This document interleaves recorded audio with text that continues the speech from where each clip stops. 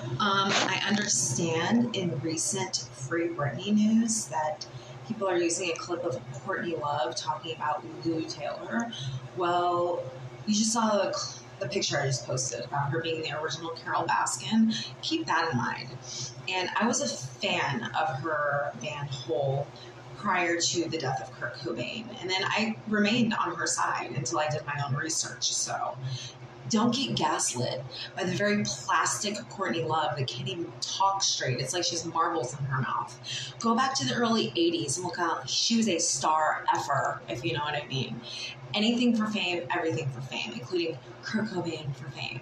So, um, she's also part of the problem. Is she's just like the elite that she's trying to expose. That's all I have to say. All you have to do is connect the dots. That's it. And um,